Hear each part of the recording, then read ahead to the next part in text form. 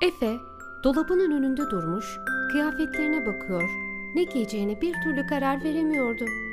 Annesiyle apartmanlarına yeni taşınan komşularına hoş geldiniz demeye gideceklerdi. Misafirliğe gidilirken temiz ve özenli giyinmeyi severdi. En iyi seçimin gemili şortu ile balıklı tişörtü olduğuna karar verdi. Yeni komşularına bir de hediye götürmek istedi. Geçen yıl yediği kayısının çekirdeğini saksıya dikmişti. Birkaç hafta önce topraktan minik bir fidan yükselmişti.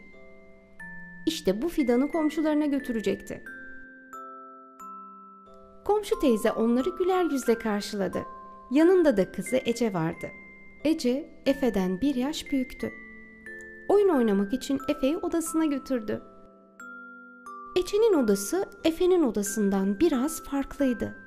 Eşyalar ya pembe ya kırmızıydı. Oyuncak sepetlerinden arabalar, süper kahramanlar, alet takımları yerine bebekler, mutfak eşyaları ve süs malzemeleri çıktı. Birlikte aşçılık oyunu oynamaya karar verdiler. Efe zaman zaman annesine mutfakta yardım ederdi. Bu yüzden oyuncak yemek takımlarını kullanmak çok hoşuna gitti. Ece'ye en sevdiği yemeğin ne olduğunu sordu. Sonra da lokantanın mutfağında işe koyuldu. Bir ara burunlarına mis gibi kokular geldi. Acaba oyunda pişirilen hayali yemeklerde gerçekleri gibi kokabilir miydi?